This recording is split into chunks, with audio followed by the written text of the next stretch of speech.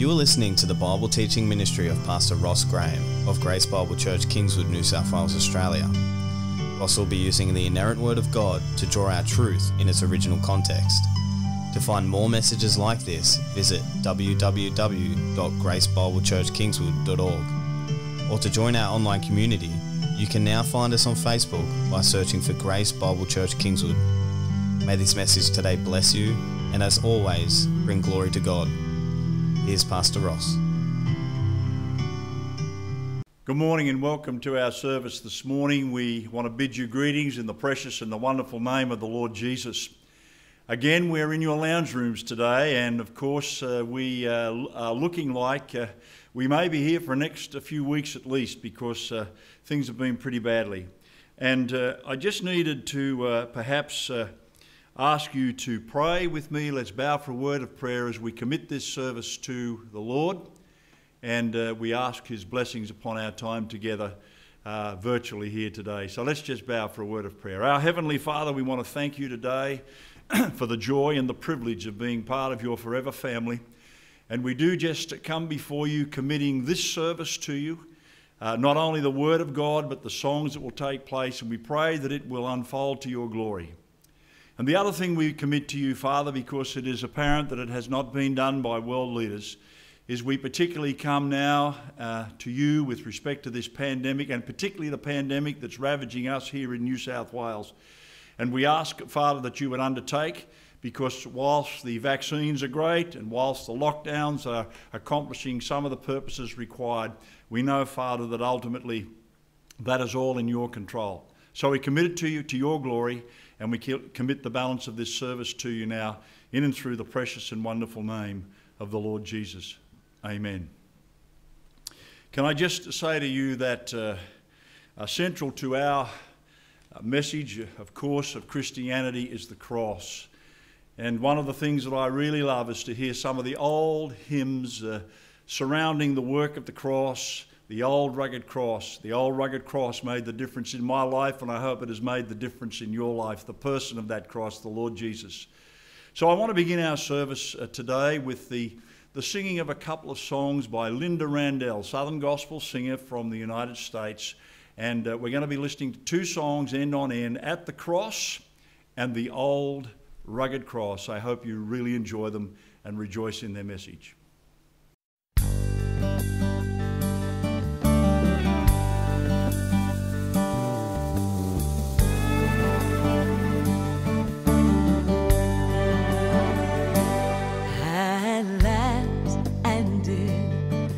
Savior bleed and did my sovereign die? Would he devote that sacred head for such a world as I? At the cross, at the cross, where I first saw the light burdens of my heart rolled away. Rolled away. It was there by faith I received my sight, and now I am happy all the day.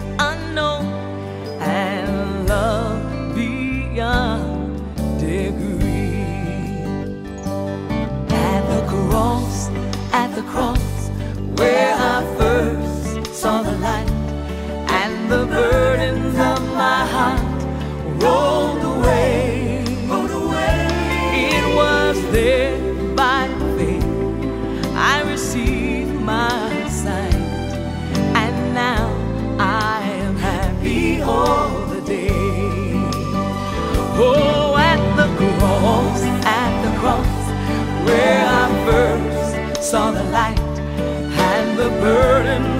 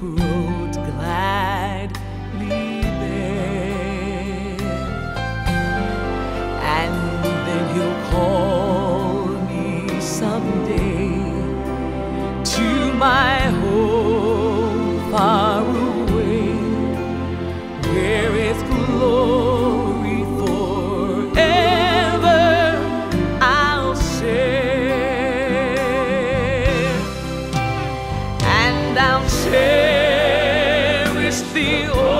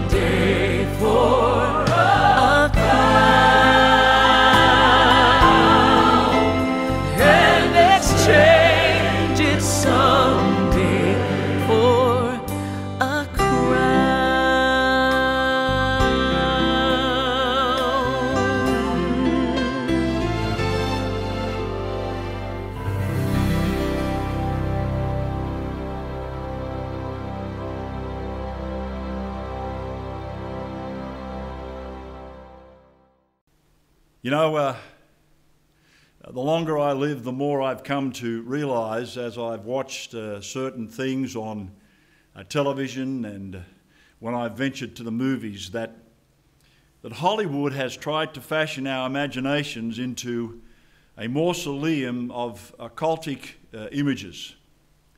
You know, demonic mince, uh, monsters rise from the Netherland to drag human victims into their nightmarish realm. Are seances summon unearthly winds that snuff out candles, leaving characters and audience in oppressive and frightening darkness? Uh, clerics uh, frantically attempt to exorcise uh, unruly spirit from ashen face victims. And these dramatizations exploit for profit our darker curiosities and the darker fears that we have in life, but they're just one slice of the deathly pie.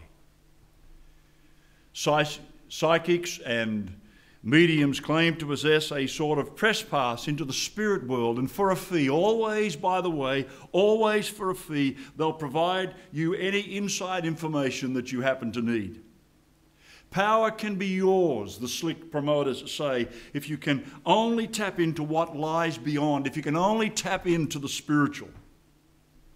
Now, let me just say that both of these uh, approaches have uh, led many people towards two extremes concerning demons. And our passage today, of course, is Luke chapter 8, and we'll be centering our thoughts uh, on verses 26 through 39. But as I said, these two approaches have led many people to two extremes concerning demons. Now, concerning this particular uh, situation, C.S. Lewis, in his book, The Screwtape Letters, states this, and I quote He says, One is to disbelieve in their existence, the other is to believe and to feel an excessive and unhealthy interest in them. The demons themselves are equally pleased by both errors, and they hail the materialist or a magician with the same delight. But can I say to you here today, church, as you have tuned into this uh, uh, television broadcast, we can avoid these extremes. Uh, by bypassing the media's celluloid portrayal of demons and looking into the pages of Scripture, looking into the wonderful, inerrant Word of God, where we, where we will begin to find a solid description of our spiritual foes. Now, the truth is that this particular truth may chill us down to our spines. But it may also give us the backbone, may also give us the courage to stand up to Satan's forces and their diabolical schemes. So let me give you some clarifying remarks regarding demons to begin with in this uh, talk to you today. What you need to realize is that, first of all, that demons are not imaginary ghosts fabricated in the minds of some creative scriptwriters. Uh, neither are they pointy tailed characters uh, perched on someone's shoulder in a comic strip. You know, a little red figure sitting on, uh, sitting on someone's shoulders with horns and a pitchfork and a, and a little snaky type tail. No, they are real but invisible creatures, powerful but not all powerful. And the truth of the matter is that demons are the devious, insidious servants of Satan, the ruler of this world, and just like him, they are limited in their authority. Now, in contrast to that, Christians, and by that I simply mean people who have trusted in the death and resurrection of the Lord Jesus Christ, people who have been washed clean in the precious blood of the Lamb, uh, we are servants of the unlimited, omnipotent God of the universe. And we have no reason whatsoever to feel afraid or victimized or intimidated by demons. In fact, 1 John 4 4 tells us this that greater is he who is in you than he who is in the world. Say it with me in your lounge rooms. Greater is he that is in you than he who is in the world. But we do need, and I want to stress this, we do need to exercise caution. The Apostle Paul, the apostle of grace, uh, told the stubborn believers in Corinth uh, to forgive a repentant brother so that, according to 2 Corinthians 2.11, that Satan might not outwit us, for we are not unaware of his schemes. Now listen carefully, church. A sustained, unforgiving, judgmental spirit invites Satan's influence. And I say that because it's like leaving the door to our minds open. A demon can easily invade with thoughts of bitterness and pride if you leave the door open. In fact, I want to suggest to you that the word for schemes in that uh, Corinthian uh, passage, uh, in fact, is related to the word for mind, nous. And Paul says, uh, We are not ignorant of Satan's mind games. That's literally what he's saying. We know his style. Satan loves to tinker with the things of the mind. And his emissaries will take every single solitary opportunity to influence our thinking. That's what they'll do. So, do you see how different this image of demons is from that image that is portrayed by Hollywood? Uh, listen, demons aren't hobgoblins jumping at us from behind the bushes or setting up squatters' rights in our basements. They're not, a, they're not in every single little nook and cranny. They're not under every stone or every rock in your garden bed. No, no, they are much more subtle than that. And their purpose is to frighten us. Their purpose uh, uh, isn't rather to frighten us, their purpose is to destroy us from inside out, and that can be frightening at the time. So, uh, turning now to Luke chapter 8, the passage that we're looking at today, verses 26 through 39, if you have it on your lap in your lounge room, we encounter one of the most vivid and gripping portraits of evil in the entire Bible, in the entire Word of God. And the first person that we meet in this account is more than influenced by the devil, he's uh, the devil's prisoner. And we pick the account up in verse 26 of the passage where it says this They sailed to the region of the Gerasenes, where, which is across the lake from Galilee. When Jesus stepped ashore, he was met by a demon possessed man from the town. For a long time, this man had not worn clothes or lived in a house, but had lived in the tombs. And then in verse 29, Luke also tells us that Jesus had commanded the evil spirit to come out of the man. Many times it had seized him, and though he was chained hand and foot and kept under guard, he had broken his chains and had been driven by the demon into solitary places. Uh, this uh, graphic picture really, is it not, hard to look at? Barely a vestige of humanity remains as the man roams about the tombs like an animal, naked and wild as he walks through the tombstones. The man was demonized, hopelessly and helplessly under the, the domination uh, of uh, demonic powers. His body was so controlled by satanic influences that it was merely a base of operations for the demons.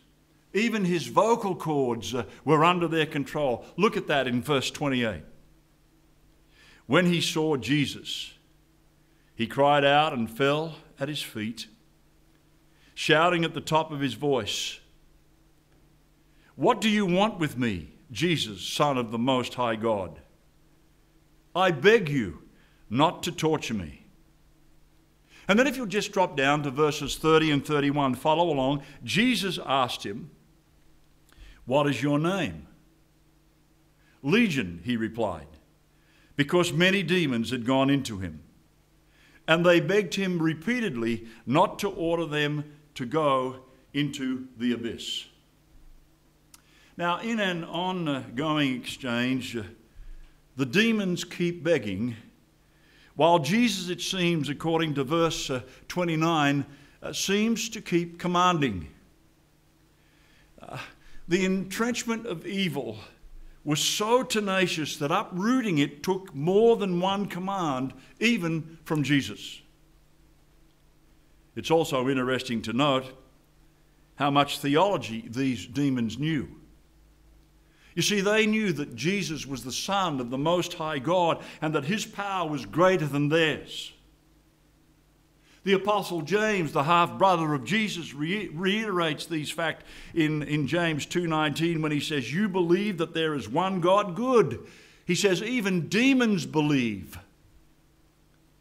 Even demons believe that and shudder. And terrified of, terrified of Jesus, they beg him not to torture or torment them. And the Greek word means to examine by torture. You see, to them, Christ's presence on earth could mean that the judgment was near. For they knew one more piece of theology. You see, they're pretty good with theology, and they knew their final destiny, the abyss.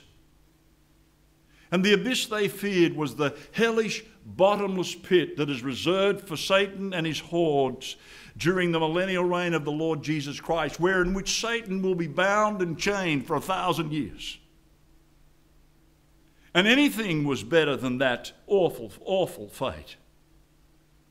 So, trembling, the demons pleaded with Jesus not to judge them before the appointed time. And seeing a large herd of pigs uh, feeding nearby, the scripture says in the 32nd verse, the latter part of that verse, the demons begged Jesus to let them go into them, and he gave them permission.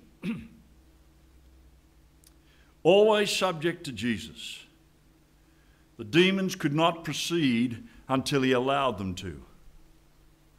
And then at his nod, because he is the all supreme one in, in the universe, at his nod, verse 33, the demons, look what it says the demons came out of the man, went into the pigs, and the herd rushed down the steep bank into the lake and was drowned. Mark's gospel tells us that about 2,000 animals were hurled violently to their deaths after the demons. Uh, entered them. Perhaps it is indicative of the fact that perhaps the man had some 2,000 demons within him. Now, let me say to you here, uh, as we develop our thoughts a little, that we know very, very little about the nature of demons. But they do appear to be disembodied spirits uh, who constantly seek embodiment of some kind. And demons, remember, are not content merely to indwell or control. But wherever they go, whatever they do, their purpose is to wreak havoc and destruction in the life of the ones that they torment. So be wary. Don't let them put the, their foot in the door of your mind. Don't let them have access to your thinking through occultic books or movies or games or trinkets. And if you own, happen to own some of those these things, get rid of them if you can. Burn them as the believers in Ephesus did, as is recorded in verse uh, 19 of chapter 19 of the book of, book of Acts. It said that those who were practicing, practicing sorcery bought their scrolls or their books and they burnt them. Now, at the same time, and this is important, I want to inject a little bit of balance in here for you. At the same time, we shouldn't become spiritually paranoid, as many within the Christian faith happen to be. You need to understand that gremlins are not hiding inside every CD case or every DV case that you get or lurking around every movie theatre behind the seats or, or, or whatever the case may be. Not all evil thoughts are demon inspired nor are demons responsible for every emotional crisis and upheaval or physical illness that comes into your life. It takes keen discernment, spiritual discernment, to know whether an evil spirit is on the loose in our lives or if we are simply suffering the fallout of living in a fallen and sinful world. Jesus' example, though, reminds us that we must always be ready for spiritual battle. Are fully equipped to engage the enemy in Jesus' name. Let me say there is power in the name of Jesus. And in this particular passage, the healing of the demoniac caused quite a stir. The entire herd of pigs was lost, and the herdsmen telegraphed their, their story to everyone that they could. And verse 34 of the passage says, When those tending the pigs saw what had happened, they ran off and reported this in the town and countryside. And soon people came running from everywhere to see what had happened. And what they found uh, not only amazed them, obviously, but it also frightened them. And we pick the account up in the middle of verse 35, where it says this When they came to Jesus, they found uh, the man from whom the demons had gone out sitting at Jesus' feet, dressed in and in his right mind. And they were, the scripture says, they were afraid. Those who had uh, seen it told the people how the demon possessed man had been cured. And then all the people of the region of the Gerasenes asked Jesus to leave them because they were overcome with fear. So he got into the boat and he left. Where was the gratitude for this desperate man's miraculous deliverance? Where was it? Well, uh, perhaps a lunatic restored to life and 2,000 dead pigs were just far too much evidence uh, of, of a power that people didn't care to reckon with, that people couldn't handle. And sadly, they would rather push Jesus away, like many people in our society today. They would rather push Jesus away than risk him changing their lives too. you see, they couldn't deny that the man's life was changed. No longer was he out of control, but sitting calmly. He was no longer naked, without clothes. He was clothed. He was no longer crazy, but he was in his right mind. He was sane.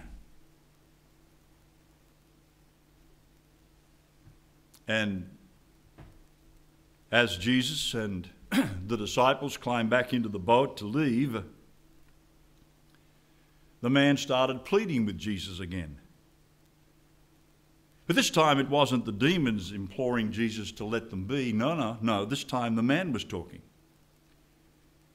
And we read in the 38th verse and the 39th verse the man, follow along, the man from whom the demons had gone out begged to go with him.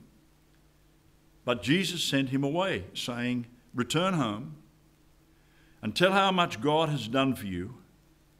So the man went away and told all over town how much Jesus had done for him. oh, my, my, my, my, my. what a transformation Jesus brought this man. From being a prisoner of darkness to becoming an ambassador of light. And that's what happens when Jesus Christ, through the effectual working of the Spirit of God, draws you to the foot of the cross.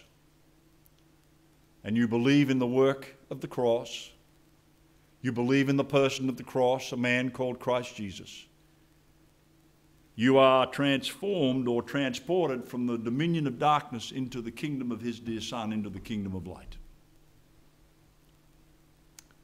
Oh, what a Savior. Okay, let's wrap up our thoughts here today. Uh, we've learned in this study or our time in the Word of God together that demons are neither funny nor phony.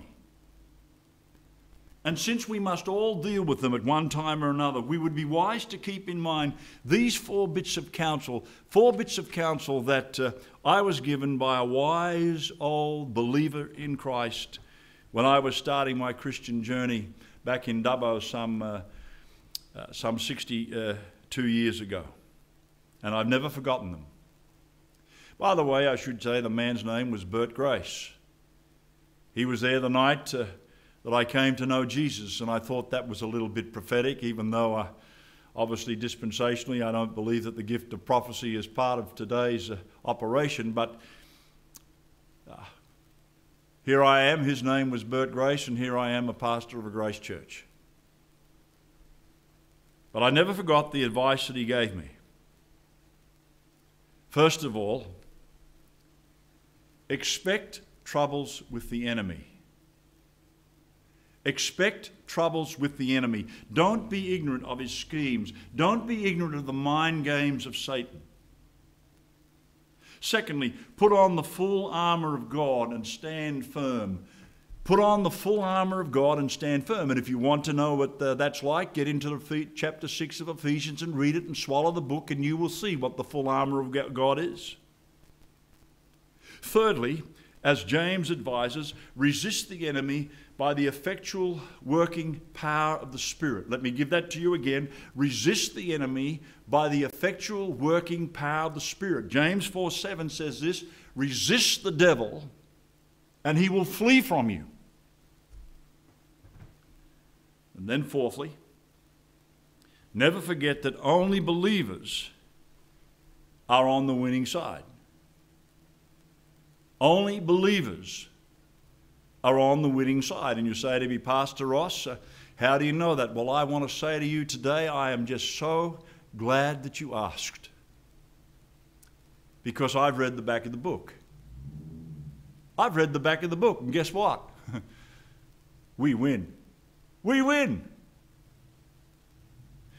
Martin Luther, great old reformer of the faith, assures us with his victorious hymn, A Mighty Fortress is Our God. And though this world with devils filled should threaten to undo us, we will not for, for fear, for God hath will, listen to this, his truth to triumph through us. The prince of darkness grim, we tremble not for him. His rage we can endure, for lo, his doom is sure. One little word shall fell him. And that word is Jesus. Say it with me Jesus. One more time Jesus. Oh, there's something about that name, isn't there? Kings and kingdoms will all fade away. But there's just something about that name. According to Ken Gire in his lovely little book, Intimate Moments with the Saviour, it's not an accident that Jesus' encounter with the Gerasene demoniac comes on the heels of his encounter with the stormy sea, the passage that we looked at last Sunday morning. And I quote Ken Gire in conclusion. He says this His fledgling students have just learned that Jesus is Lord over the natural realm. But in this sequel to that lesson, they will learn that He is also Lord over the supernatural realm. And they will observe firsthand that he can calm a tormented soul as easily as he calmed a tempestuous sea. I wonder whether we can just bow at this particular time for a word of prayer in closing our time in the Word today. Almighty God, you are our, without a doubt, our all powerful and invincible Lord. None can overcome you, none. None can stand against you. And how we need you, Lord, especially when the battle against evil rages. Thank you for standing by our side, for being our strong shield and our strong defender. We have no strength in ourselves, none. We face an adversary far, far, far more powerful, more brilliant, and more experienced than we. The enemy stands firmly against us, ready to attack at every weak point, at every weakness of our thinking, of our mind. And we know that our enemy, Lord, will not let up, that he will fight to the very bitter end of our journey here on earth. And so, with confidence, we want to put on and wear the whole armor of God. And in your strength alone, oh Lord, your strength alone, we can resist the wicked forces that desire to bring us down. Give us new hope, Lord. Hope that we uh, can one day get beyond the struggle raging for our lives. We look forward to that day, that day very soon when Christ will once and for all win the victory that already belongs to Him because of the cross and the precious blood that was shed on the cross. Encourage us with the thought that in Christ we triumph. Encourage us with the thought that in Christ we win. Encourage us with the thought that in Christ we are victorious. And in His victorious name we pray today and for His glory alone. Amen. Well, we have victory in Jesus. And I'd like you to listen to this closing song, again by Lynda Randle, and it's entitled Victory in Jesus. Please enjoy. I think you'll love it. Amen and amen.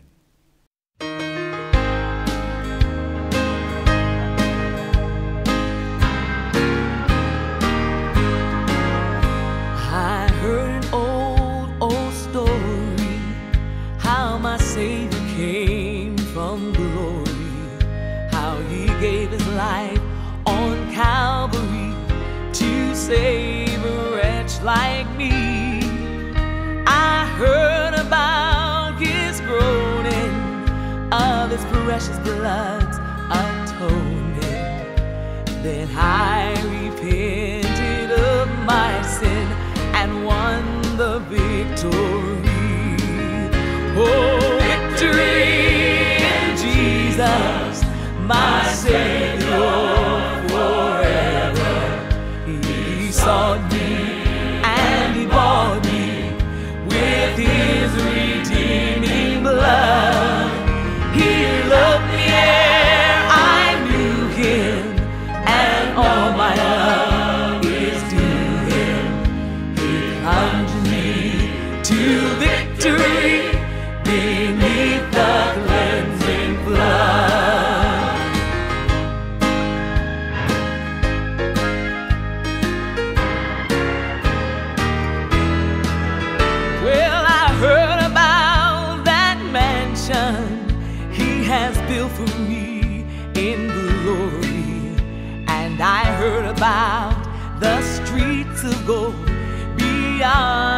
crystal sea.